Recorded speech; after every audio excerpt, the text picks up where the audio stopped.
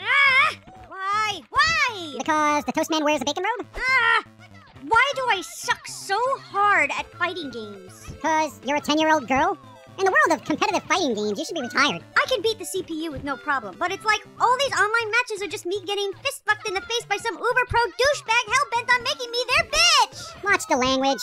You can't watch language, dick nipples. What about subtitles? Ah, fuck. Schooled! Stop hitting me!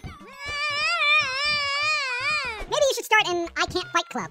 You know, find other players that suck so you can all suck together. Ow! The first rule of I Can't Fight Club is I can't fight, don't hit me! Oh, This guy is using my character as a fucking hand puppet. Stop it! Well, well dude, you, you just keep using the same move over and over. But it's Chin Lu's super kick. It's supposed to knock him on his ass. But every time she lifts her leg, I get a yoga flame to the crotch.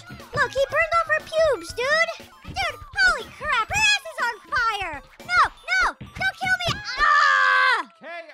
That's it. I'm a chart husk. Y- you know, you might want to try blocking next round. Wait. You can block? Oh, seriously? Fucking butter rolls, man! Butter rolls with sloppy mangoes! What is wrong with you? Ah, I can smell the burnt pubes through the TV. Look away from the burning pubes.